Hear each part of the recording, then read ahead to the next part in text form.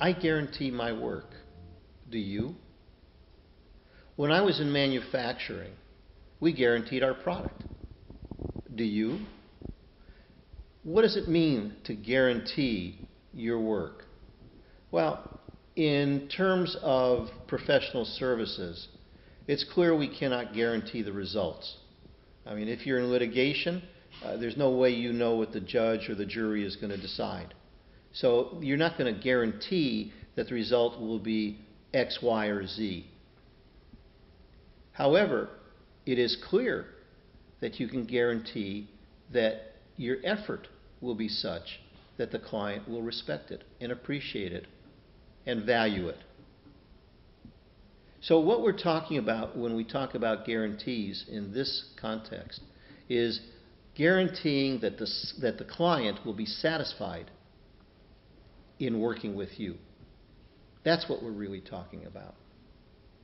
In other words, we can guarantee our effort. We can guarantee the client's satisfaction, not with the results, but with the relationship. Now, how do we do that? Simple communication.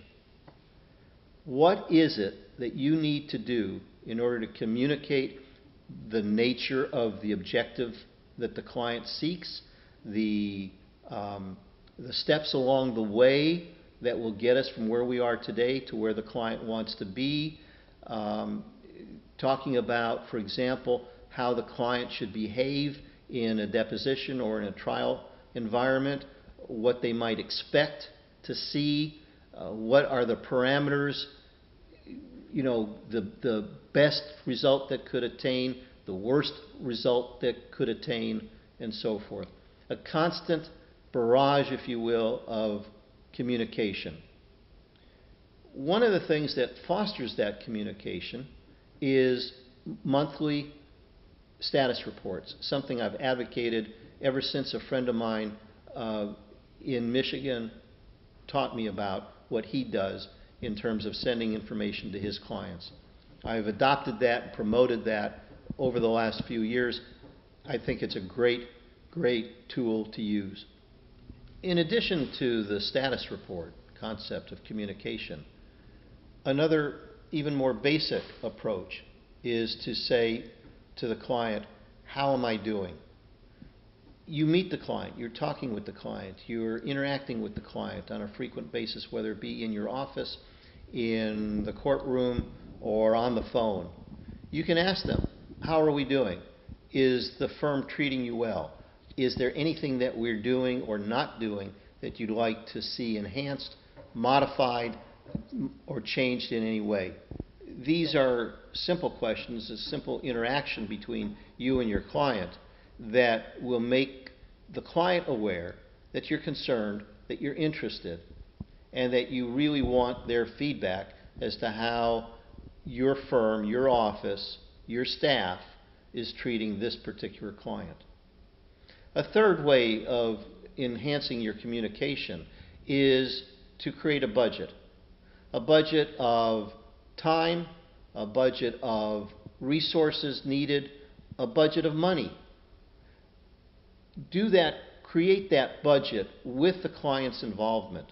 Number one, it is a great communication uh, tool that involves the client, and once the client is involved, the client feels better, they feel part of the team, and they know that they're in good hands.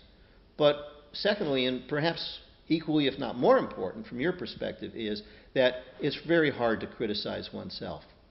And if they're involved in the process and things don't go quite the way that they had anticipated, or for that matter, that you had anticipated, that fact will not detract or, or, or denigrate their willingness to pay you what your fee is and should be.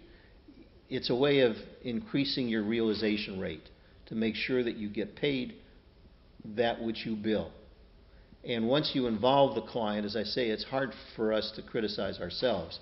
And so when the bill comes, the client is more likely to pay than not.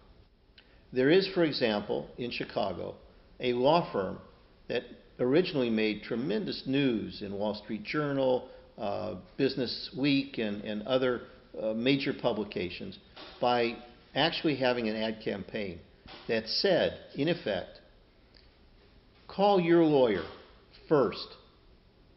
Leave a message, ask them to call you back. Then call us. See who responds first.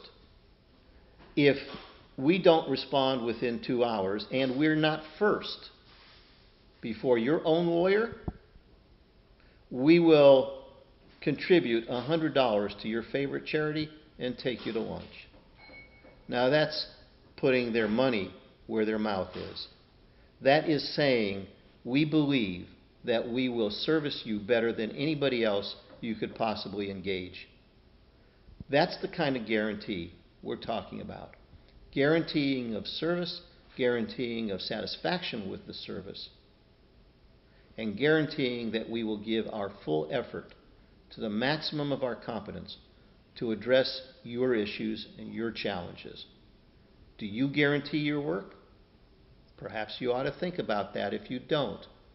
Because I assure you, especially if you're like me, that when you go in to buy a product or engage another professional service person, if you're not satisfied, you're really upset. And you expect them to stand behind their product. You expect them to stand behind their service. And it's interesting because in sales circles, there's an adage that goes something like if I'm satisfied with the service, I'll tell one other person. If I'm dissatisfied with the service, I'm going to tell 23 other people.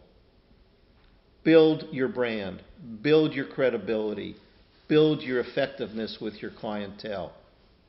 Guarantee your work. Thanks for joining us.